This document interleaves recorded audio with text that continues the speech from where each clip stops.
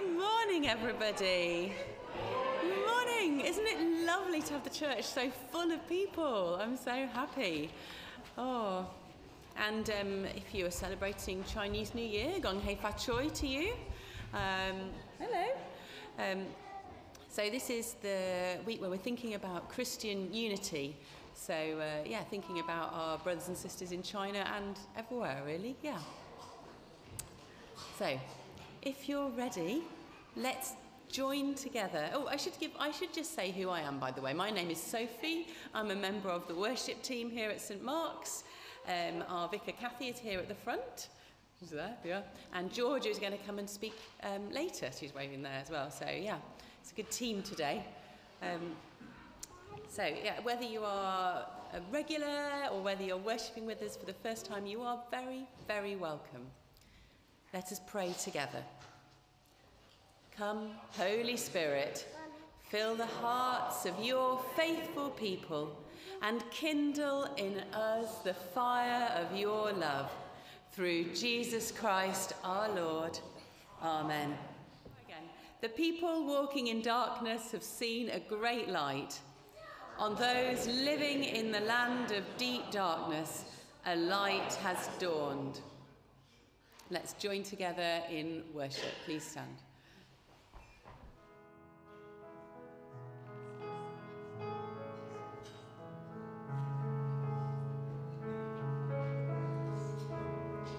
There's nothing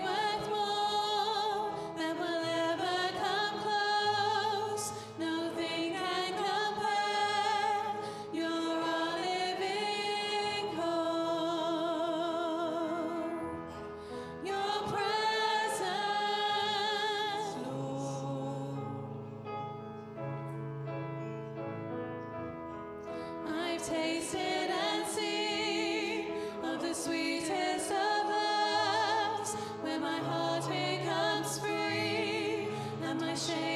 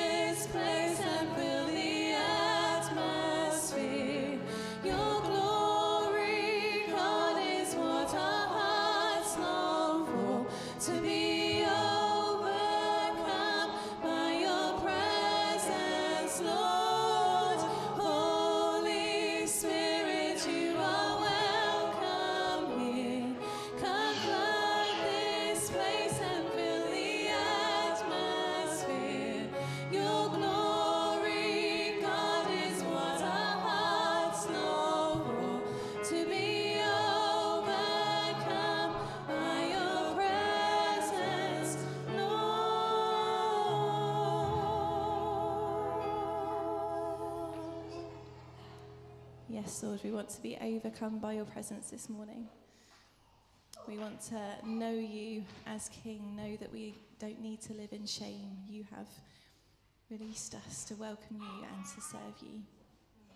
And we're going to praise you more and sing how you are a God of wonders, that you have the whole of creation, that you created us all and where we are. use this uh, moment uh, in worship to, to bring your prayers to God this morning.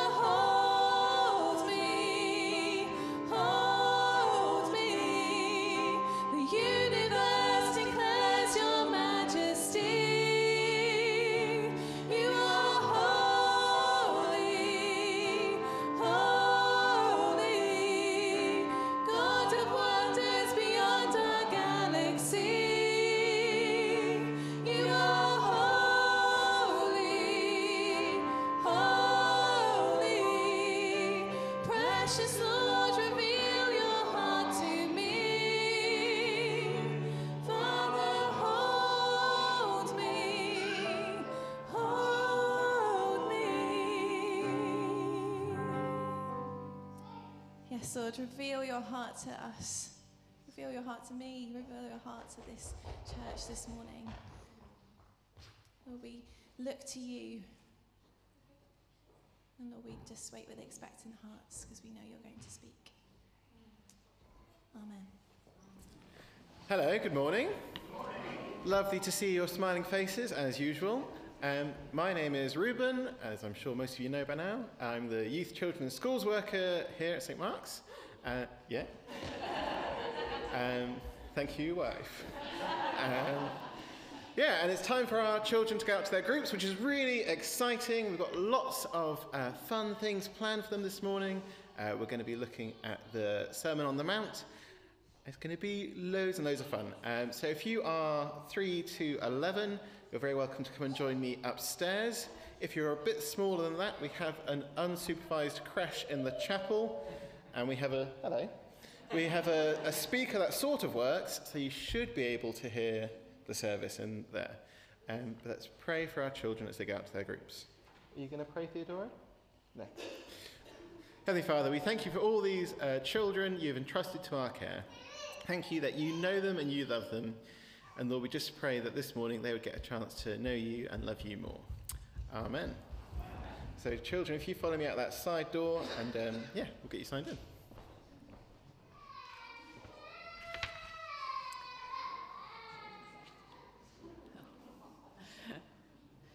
Sad to leave us, yeah?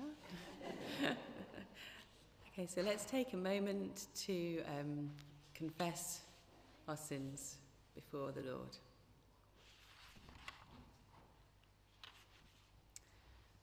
When the Lord comes, he will bring to light the things now hidden in darkness and will disclose the purposes of our heart. Therefore, in the light of Christ, let us confess our sins. Christ came in humility to share our lives. Forgive our pride. Lord, have mercy. Lord, have mercy. Christ came with good news for all people. Forgive our silence. Christ, have mercy. Christ, have mercy. Christ came in love to a world of suffering. Forgive our self centeredness. Lord, have mercy. Lord, have mercy.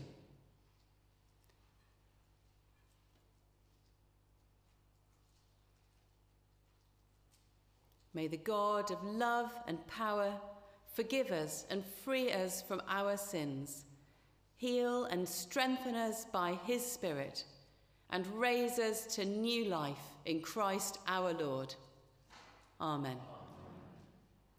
Let's join together in the prayer that's being said across all of the Anglican churches today.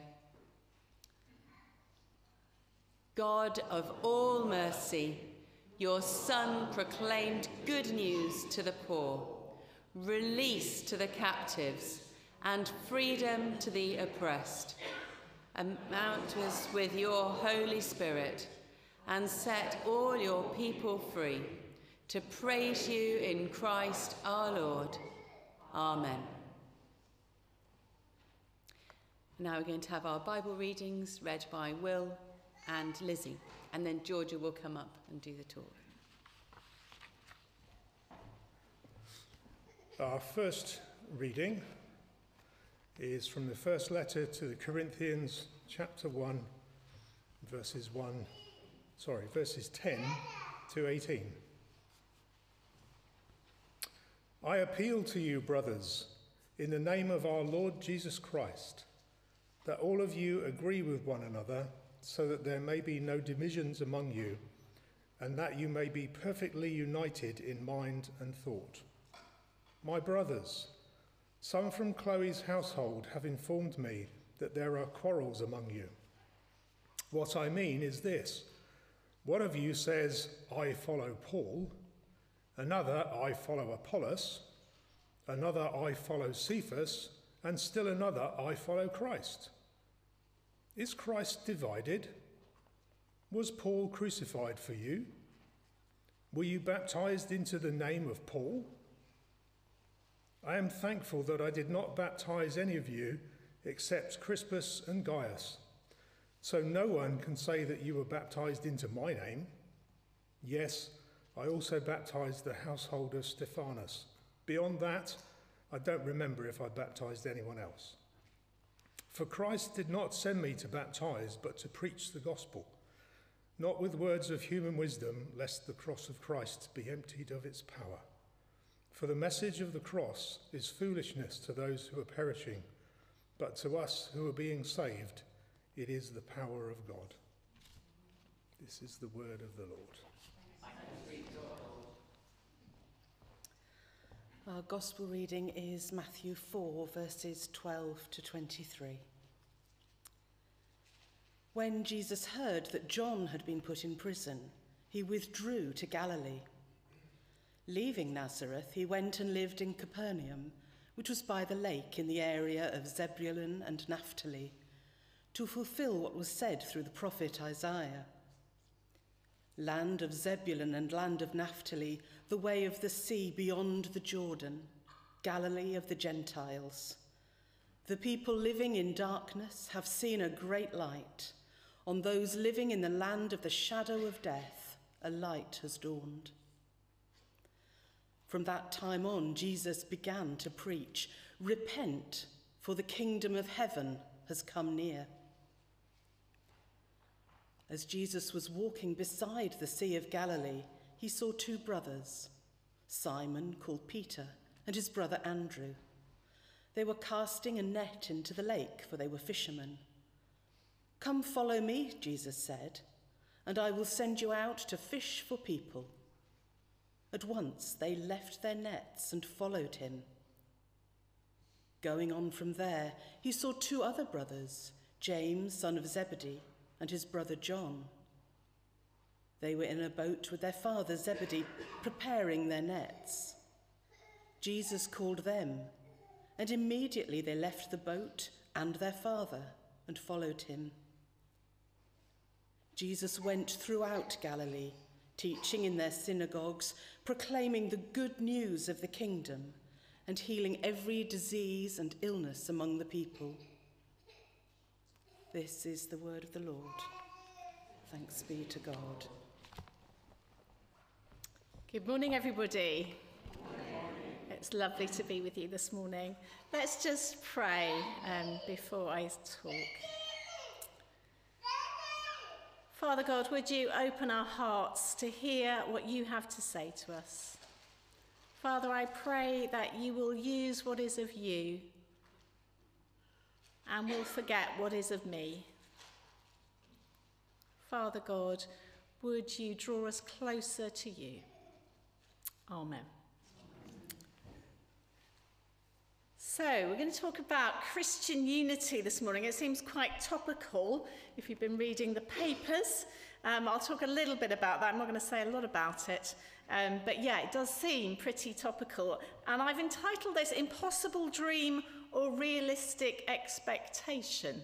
And I'll leave you to decide by the end of this talk whether you think it's an impossible dream or a realistic expectation. Um, I remember hearing a talk once about um, Jesus' prayer, particularly his prayer in John 17.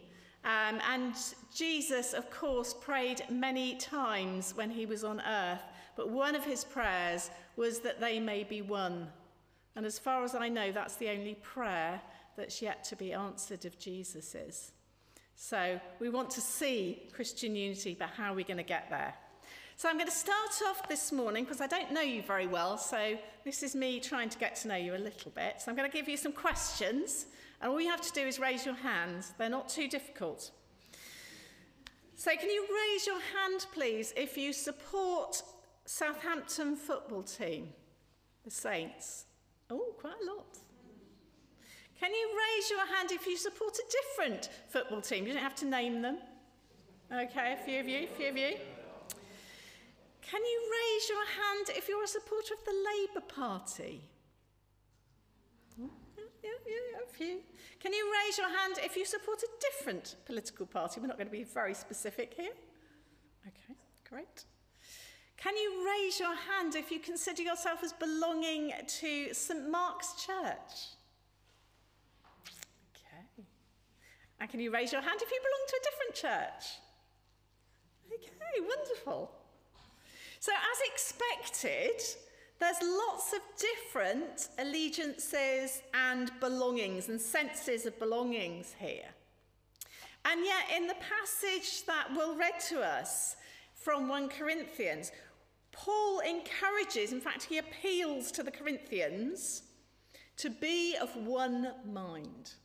So, what exactly does that being of one mind look like? It's something that Paul repeats again and again throughout his letters to the churches he writes to in the New Testament. Now, clearly, we know that, I think we know, that having different football um, allegiances, different political affiliations, doesn't have to be divisive, though sadly, sometimes it can be in our society. So I wonder what Paul really meant by that. What does it mean to be of one mind? Well, we're going to start by looking at the context of the passage.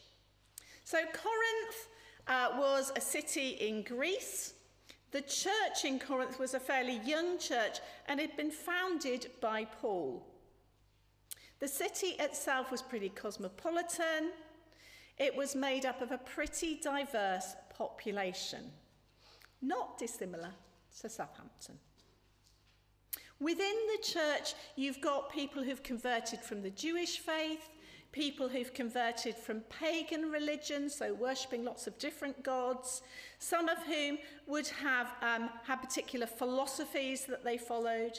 You'd have had some very wealthy people in the church in Corinth, as well as people who were slaves. You had some very well educated people and some who are barely literate, could barely read at all. They're a very mixed bunch. I suspect we are too. Paul had spent 18 months with that church, teaching them, laying the foundations of their faith. But now, several years on, he gets a message, a report from Chloe's family uh, that all is not well in this church. Factions are appearing, divisions of loyalty, and they're threatening to destabilize the church and weaken its witness to the unbelievers. I wonder if you've been in churches like that in the past. I certainly have. It's a really sad day when communities of faith become divided by their loyalty to certain leaders or certain teachings. And I don't think you can be part of the Anglican Communion without being aware this week of certain divisions and disagreements. We've had the announcement this week about same sex marriage and the differing views going on in the Anglican Church. They are deeply held beliefs. I don't know where you're at on that, but they're a really difficult situation. I am praying that somehow we can still be united in the midst of disagreement, that somehow we can move forward even if we hold different views on this. Because it must break God's heart to see a people for whom his son died tearing each other apart. That's not what he wanted, is it? Let's see what Paul has to say to this church in Corinth, and perhaps what God is saying to you and I as well today. Paul appeals to the church in the strongest terms, in the name of Jesus. He appeals to them that you may all be in agreement, that there be no divisions among you, you be united in the same mind and the same purpose. He says to the Philippians, Be of the same mind, have the same love, be in full accord and of one mind. To the Ephesians, he says, Make every effort to maintain the unity of the Spirit. As I've already said, it was central to Jesus' prayer for his followers that they may be one.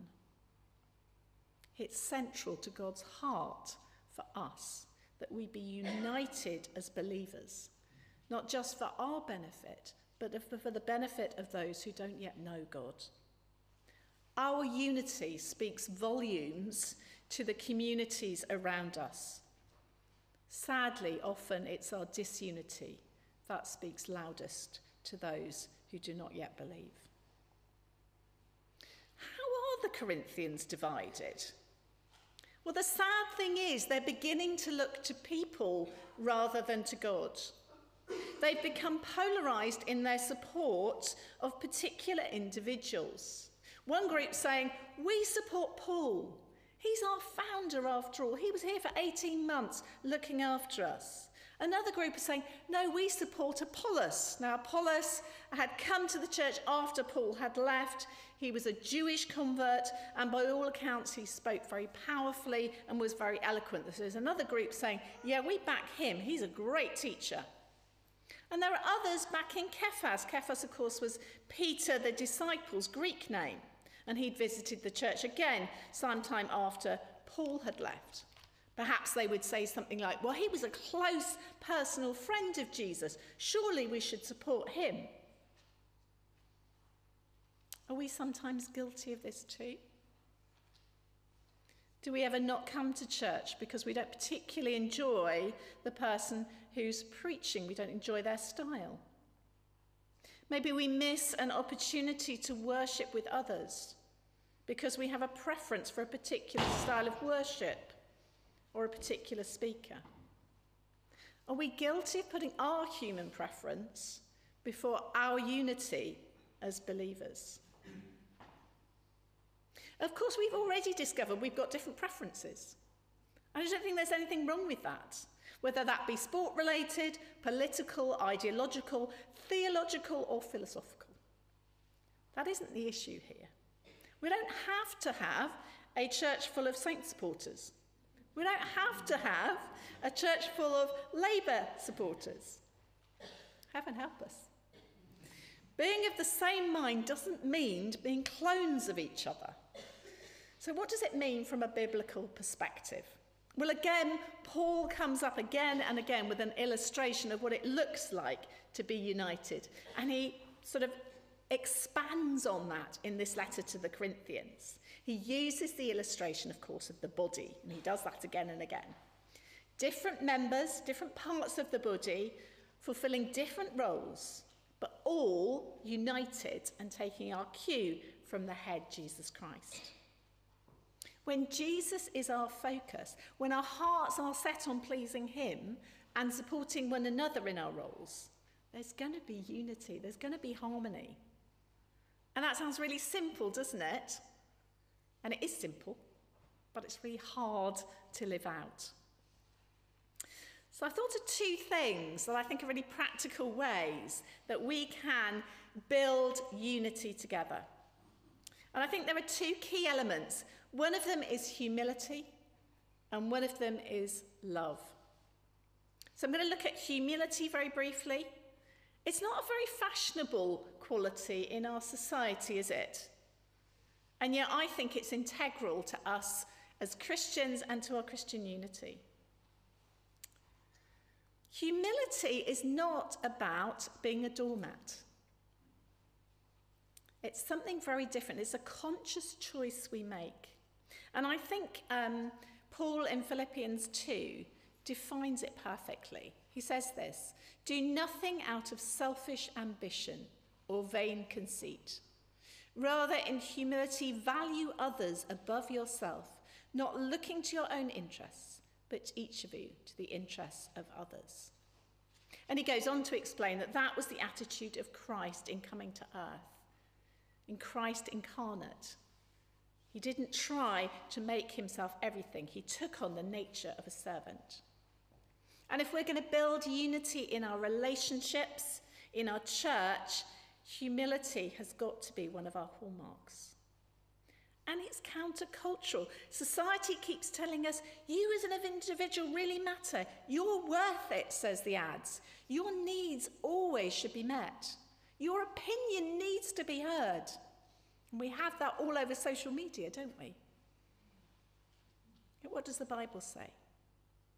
Christ says the first shall be last. Christ says the humble or meek will inherit the earth. Paul says, I make myself a slave to everyone. I don't know all of you well, but I do see that attitude of humility in so many of you I've begun to get to know. And we need to build on that, both in our individual relationships and as a church. To respect one another's deeply held beliefs and values, even if sometimes we don't exactly share them. Paul gives a really practical example in this letter to the Corinthians about how we can disagree but be united. There are some people in the church who are avoiding eating meat because it may or may not be sacrificed in a pagan sacrifice, so in some of the temples. And because of that, they've basically gone vegetarian. Others they, they think, well, it doesn't matter what we eat because those gods aren't real anyway. God's, our God is the only God. So actually, my conscience isn't bothered by eating meat. If I don't particularly know where that meat comes from, it doesn't really matter. So I'm going to carry on eating meat. So you've got two differing views in the church. And what is Paul's advice on that? He says, for those who have an issue with eating meat, if he's with them, he doesn't eat meat. He makes sure he respects their deeply held views. For him, maintaining the unity of the body is more important than him arguing theologically with them. And I think that's a really important lesson for us to learn. There are fundamentals of our faith, and we often say them in the creed together. And they're really non negotiable. But there are other bits surrounding our faith where you might hold slightly different views to others. Let's not cling on self righteously to those. Let's be accommodating and seek the good of others. I think that's the principle here. Let's go on to the second quality, love. Colossians 3:14 says, "Over all virtues put on love, that binds all together in perfect unity. Our love is going to speak louder than any words of testimony to people around us. They're going to speak volumes within the church as well. Love in action as well as words. And Paul, of course, goes on in this letter to spell out what that agape love looks like. It puts others before yourself. It's patient, it's kind, it's long suffering. I'm not sure either of those qualities of humility and love we can do in our own strength. We need to pray and ask the Holy Spirit to enable us to love as Jesus loved, to be humble as Jesus was humble.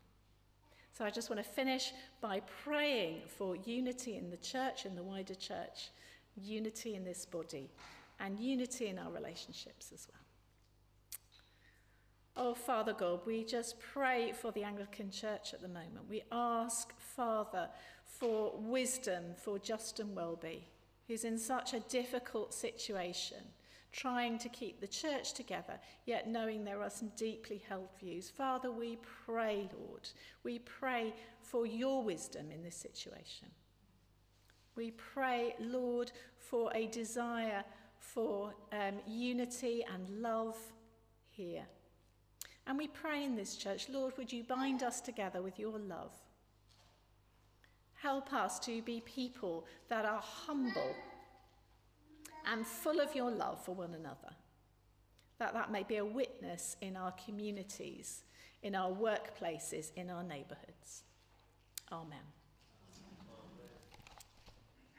Thank you, Georgia. What a really powerful challenge to love as Jesus loved and to be humble as Jesus was humble. Yeah, we can only do that in his strength. Um, now we're going to join together in singing King of Kings and acknowledging that he is Lord of all we do. Know you do these things in love and humility with the uh, strength of Christ. Um, and this is reminding us God is living in us. Um, so let's uh, bring our prayers to God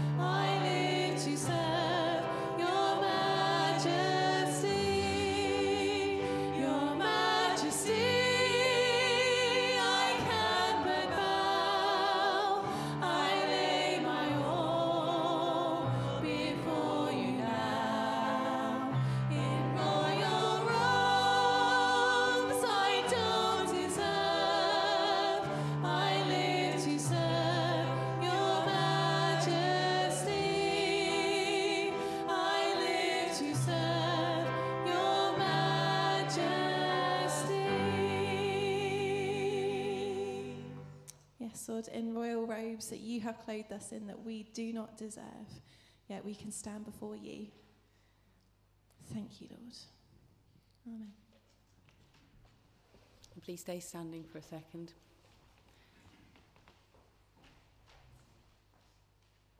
We join in this affirmation to say that we have all seen the light of God. The people walking in darkness have seen a great light. On those living in the land of deep darkness, a light has dawned. Now let us affirm our faith in the Lord Jesus Christ, the Son of God. Though he was divine, he did not cling to equality with God, but made himself nothing. Taking the form of a slave, he was born in human likeness. He humbled himself and was obedient to death, even the death of the cross. Therefore, God has raised him on high and given him the name above every name, that at the name of Jesus every knee should bow, proclaim that Jesus Christ is Lord, to the glory of God the Father. Amen. And Bev um, is going to lead us in prayer. Let us pray. We are going to pray for the world, for the United Kingdom, and for our community.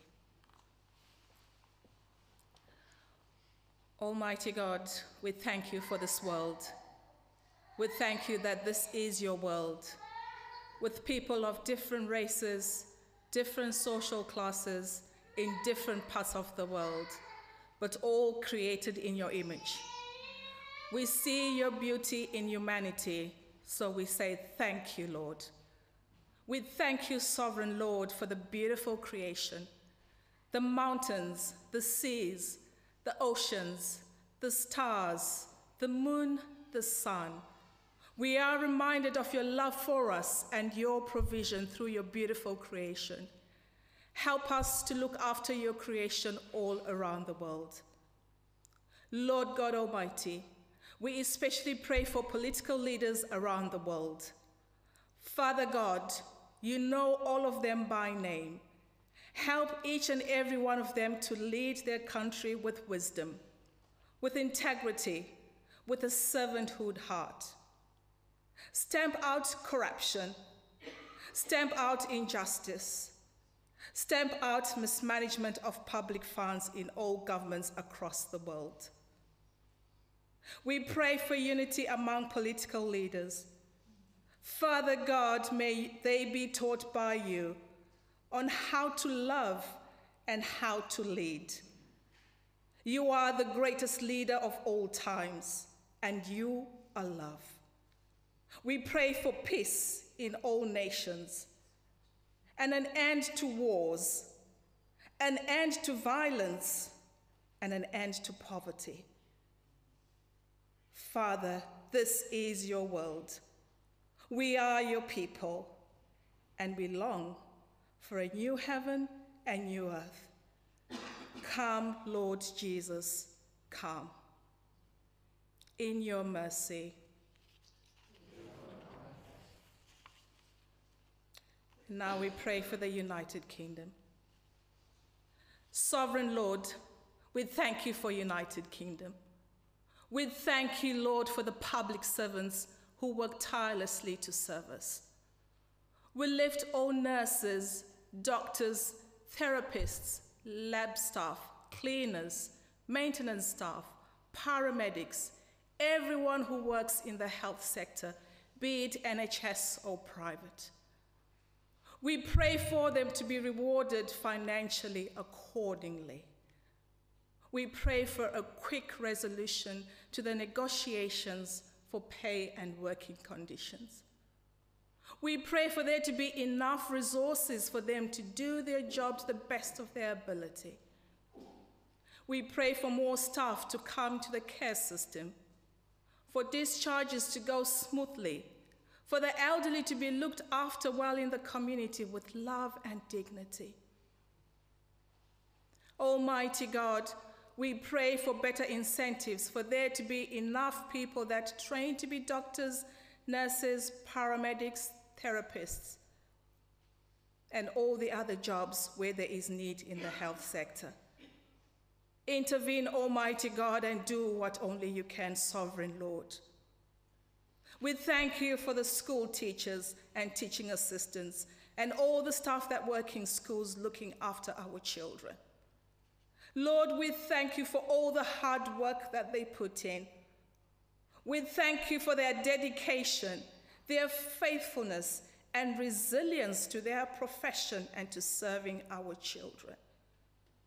Lord, we pray too for a quick resolution to the negotiations for pay and working conditions in the education system.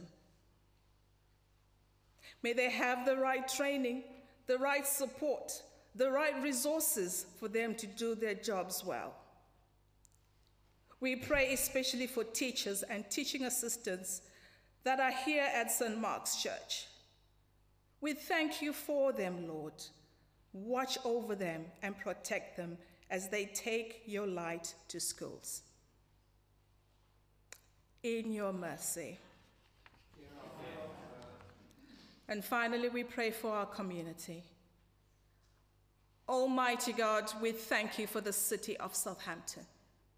We thank you for all leaders, be it in the council, church leaders, in the government, local businesses, charities, and all leaders that contribute to making Southampton a safe, stable city.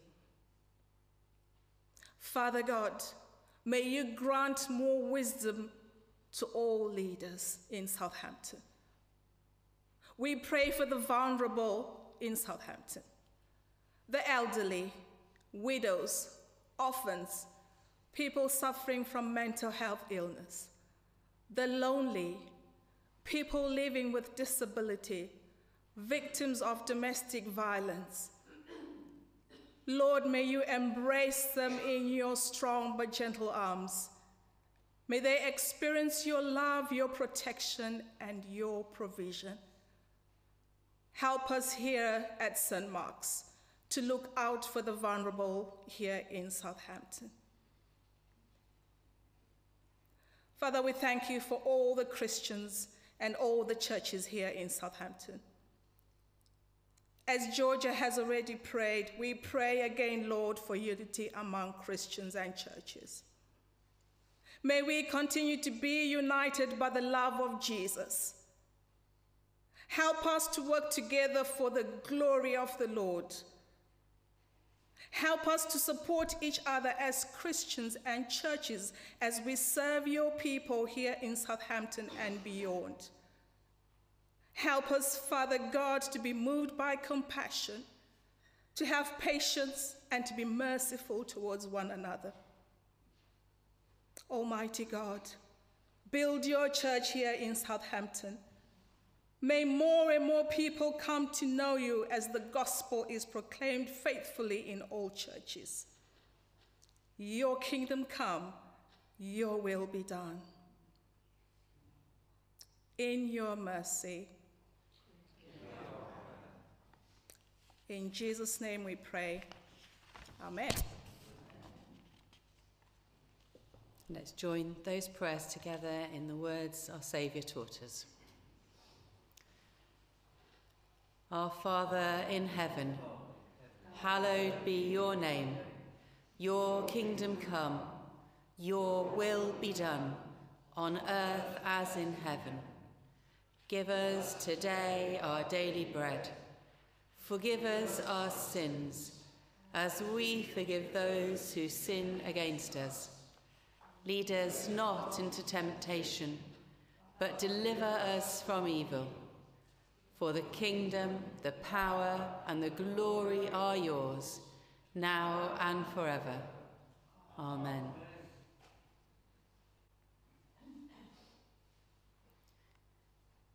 We are fellow citizens with the saints and of the household of God, through Christ our Lord, who came and preached peace to those who were far off and those who were near. The peace of the Lord be always with you. Let us offer one another a sign of peace. And it's a prayer for unity. Draw your church together, O God, into one great company of disciples, together following our Lord Jesus Christ into every walk of life, together serving him in his mission to the world, and together witnessing to his love on every continent and island. Amen. So, firstly, can I say thank you so much to Georgia and to Sophie for leading us so well this morning. Um, I have a few bits of church family news to let you know about. Um, firstly, uh, on the 30th of January in the evening, it is Georgia's licensing service. Yay! So um, I'm sure all of you know, but just in case you don't, um, Georgia has um, recently joined our clergy team here at St Mark's. So, that wonderful sermon that you heard a few minutes ago, um, you will hear more from Georgia. So, uh, it's really, really wonderful and exciting to welcome Georgia to our clergy team. Georgia is also um, the chaplain at St Mark's School, which is wonderful and creates some wonderful links there. So that's great. So it's on the 30th of January, and um, we're going to do refreshments before the service. So we're going to have like a um, like a suppery tea thing, buffet tea, um, from 6 p.m. Um, so um, yeah, please come along to that. Put that in your diary, and uh, if you're on our church email list, you will have had a link to respond and say yes, you can come or no, you can't um, to that. Um, and if you're not on our um, church email list, but kind of see yourself as part of St Mark's, then please, please get yourself on there because that's how we let everybody know um, about what's going on. Can somebody just wave one, grab one from the table and wave it, please? Helen, maybe could you? Thank you, so that people know what to look for. It's a little piece of paper that says welcome on the front, and then you can put your information on the back of it um, and give it to either me or to Ruben or Sophie. Um, so that we can make sure that you get to hear about everything that's going on. But we would really, really love to have some delicious homemade cakes um, to offer. So, um, Helen, will you give us a wave at the back there? Helen is um, coordinating, I think, together with the social team. Yeah, yeah, but I've, I, mean, I could get everybody to stand up. There's-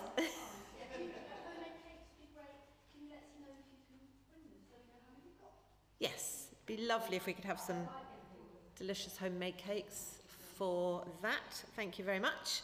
Um, so that's on the 30th of January at 6 p.m. and the service itself will be 7:30. Um, Liz, will you come up and tell us about Hope Explored? Thank you. Um, morning, everybody. So we're going to be running um, a three-session course called Hope Explored, starting on the 8th of February. Um, it'll be in the small hall, 7 till 9. And the purpose of the course is to introduce people to this person of Jesus, who he is, what he did, and why we as Christians have hope in him. Um, the, the way the sessions will work is there is um, we're going to start with some refreshments and I'm really glad you mentioned about baking cakes because I would love to be able to give provide home baked cakes. I'm not a baker.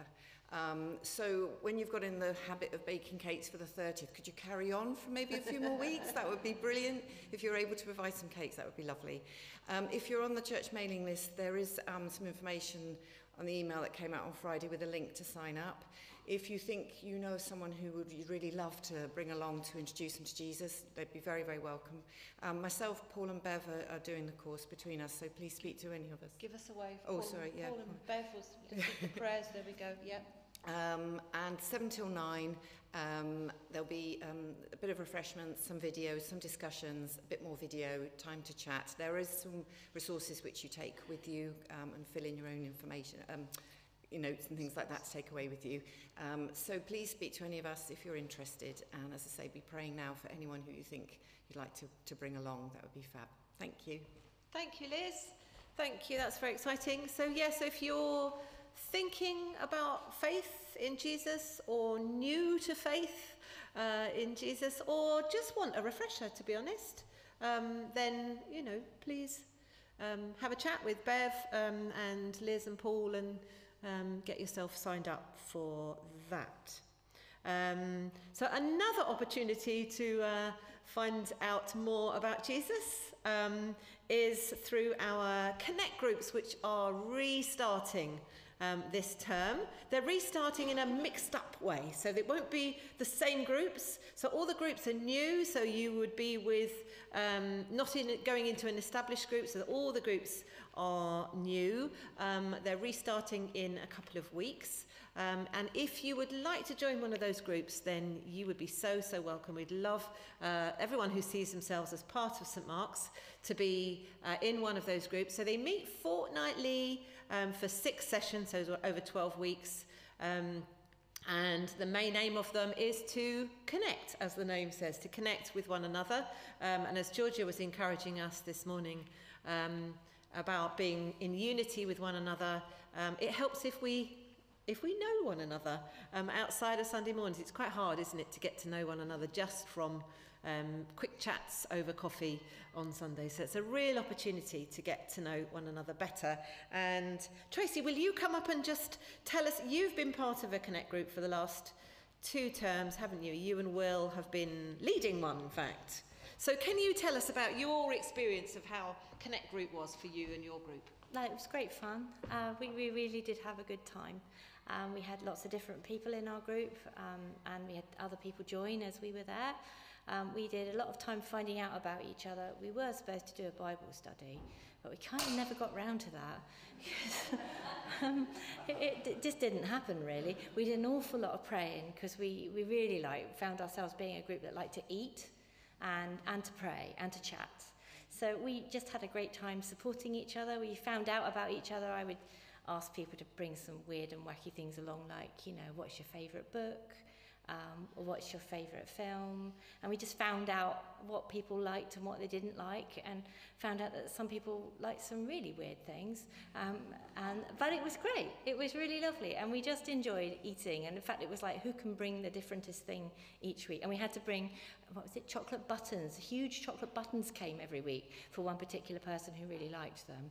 And, um, and we even found, that with me being dairy free, lots of different things that I could have as well that people would make and bring along. So we had such a fab time. We really did. And the support that we felt for each other was really important because there were some really big things being prayed about. And it was great to know that we could just put it on the WhatsApp or phone someone or email someone and know that everyone was praying. So it was really good. Brilliant. Thank you very much, Tracy. Um, so, uh, put your hands up if you were part of a Connect group over these last two terms. Lots and lots of you were, which is fantastic. Um, so, would anybody else like to tell us about your experience of being part of a Connect group? What did you like and appreciate about it? I know there were some very good reports that came out of the groups. Come on, be brave. Who would like to tell us what it was like being part of a Connect group? Um, no, I, we met in a, in a Jenny and Andrew's house, which was lovely. Um, and um, yeah, we had a really nice time. We would share and uh, have a bit less food, I think it sounds like, than uh, the other group. But it was, again, really, really nice to kind of share together, to pray together. Uh, we did, um, sort of depending on the week, whether, as I say, yeah, whether we did a Bible study or chatted and prayed or whether we looked at uh, something else short. Um, and yeah, it was just really, really nice to build that community, get to know each other, and also in that smaller setting, kind of bring our kind of yeah prayers and and uh, things before God. Um, yeah, it was really lovely. Thank you. Who else is going to be brave? Well, speaking as somebody who was relatively new to the church when they started, it was lovely to um, really deepen my friendship with those I met uh, with. It was lovely. Thank you, Ian. Yeah, I think that's really important, isn't it? Because if you're if you're fairly new to St Mark's, um, then um, actually this is really, really the best way to get to know others. Um, you know, because like I said earlier, it's quite hard to get to know people just from a few minutes chat on a Sunday morning. Um, so if you are new, if you're new to St Mark's and so you want to see yourself as part of our church family, please would you join either a Connect group or Hope Explored um, depending on where you feel you, you're, you are at. I would really encourage you to do that, to just take that step beyond um, a Sunday morning and get a bit more involved with one another because that's how unity can be built. That's how we can be a community to one another, um, and that's how we can fulfill the mission um, that Jesus has called us to fulfill and show love to the world around us. So I really encourage you um, to do that. Brilliant. Thank you very much. Group, sorry. Um, then Helen is coordinating them. Um, Helen, give us another wave.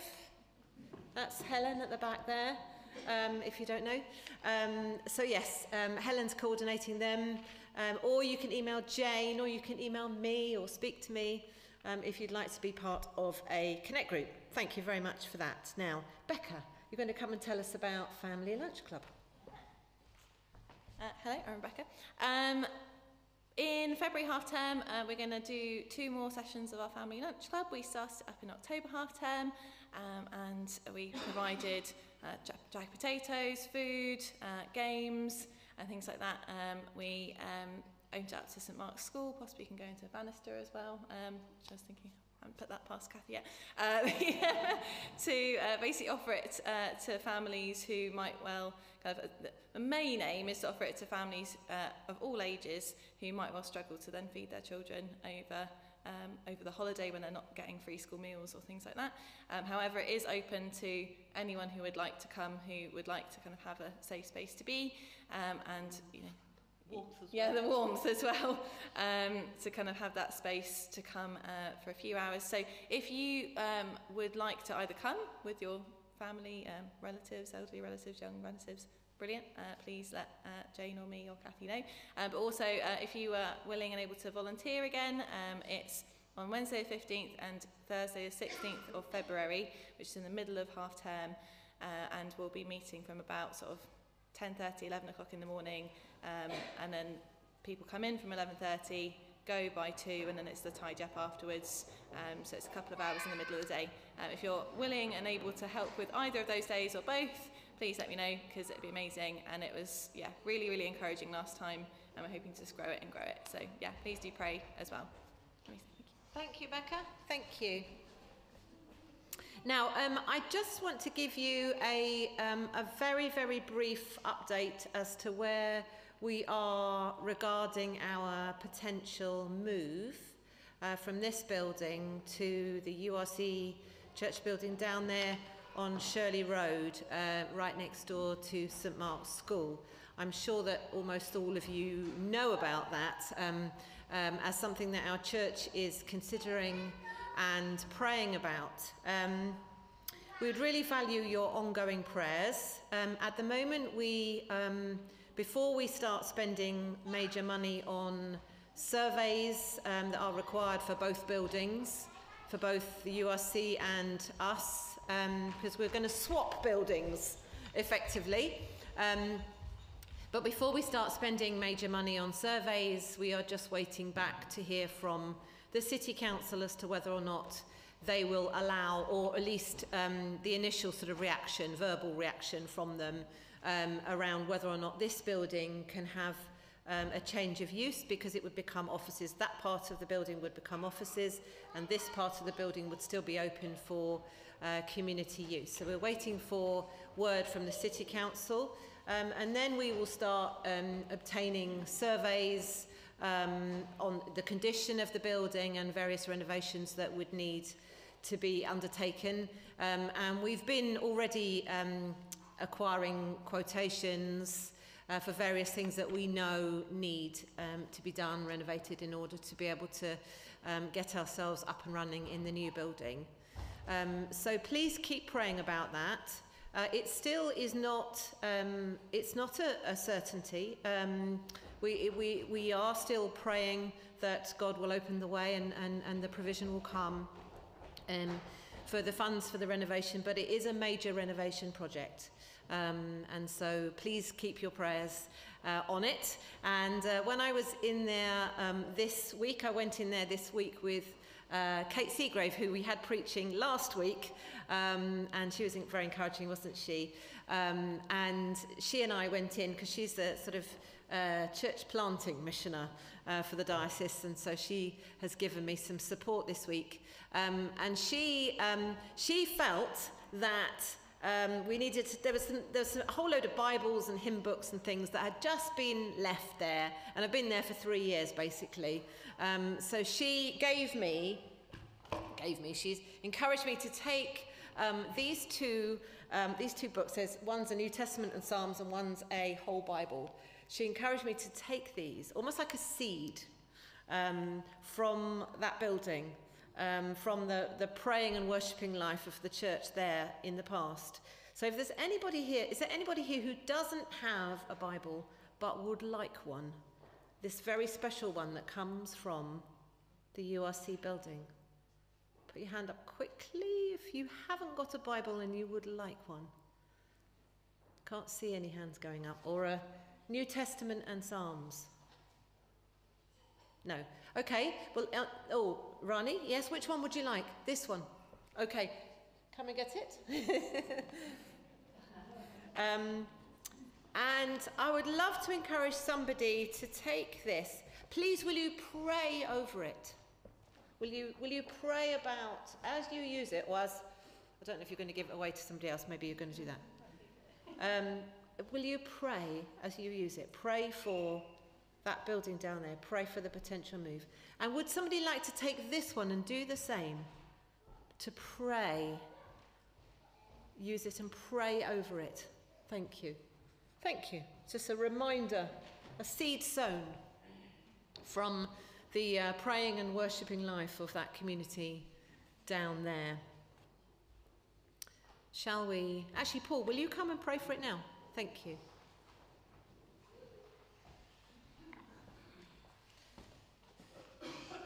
Yes, let's pray. Let's pray. Father God, we thank you, Lord, that uh, you are in control of all things. Lord, we thank you that your word promises that you are here with us now. We thank you, Lord, that you call us to pray. Father, we take this time to lift up the situation with the URC building, Father. We pray, Lord, that your will will be done. We pray, Father, that uh, we are in the midst of your will. Help us, Lord, to move according to your will. And we pray, Father, for a favourable decision from the council for uh, the use of this building. We pray, Lord, that uh, you will equip Kathy and all those involved with uh, making decisions with a clear sense of your will and your purpose for this church. Father, we thank you for your favour upon us, Lord, and we pray that we will continue to walk in your light. So, Lord, we just lift the situation before you, Father. We pray for your blessings upon it. We pray for the URC as well, Lord, and we pray that you will bless them in their journey, and their walk of faith. And we lift all these things to you now, in the name of Jesus. Amen. Thank you, Paul. Um, can I just encourage you to look around the room at the moment? Look around and see uh, how many empty spaces there are. Look and see where they are. Imagine if you were a new person coming into this building and you see this. You might have to wriggle your way down to find a seat through, you know, various people. People don't like doing that. It's a, it's kind of a known fact that once churches reach um, sort of 75 to 80% full, they stop growing. So we are, if you look around the room, you can see that we are probably 75% full here. So it's just a, a reminder. Um, that building down there is much bigger, there's a lot more space. So it's just a, another reminder of actually why this is important for our, for our community here. Okay, I think that's all I need to say. We're going to have another song, are we? Our final song. Should we stand as we sing our final song, Be Thou My Vision? I think. Is that right? As we uh, bring to God all these things we've thought about this morning, ultimately our vision has to be on God to bring all those things together. So let's sing uh, and remind ourselves about how God is our vision, and that is what makes all other things possible.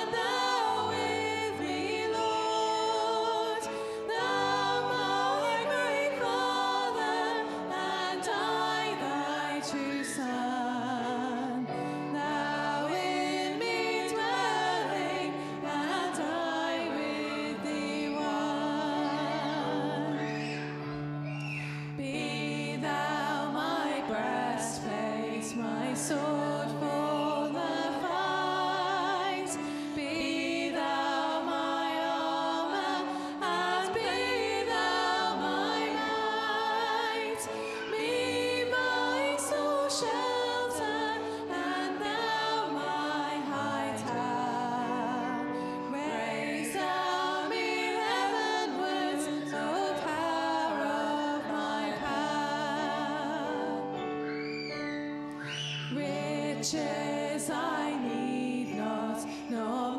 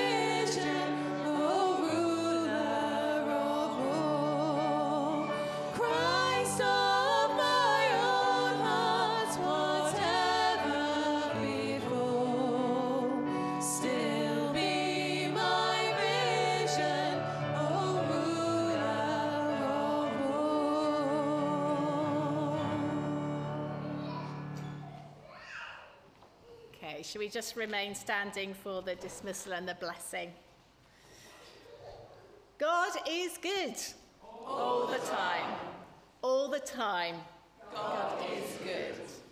The Lord bless you and watch over you. The Lord make his face shine upon you and be gracious to you. The Lord look kindly on you and give you peace. And the blessing of God the Father, Jesus Christ the Son, and the Holy Spirit be upon you and remain with you always.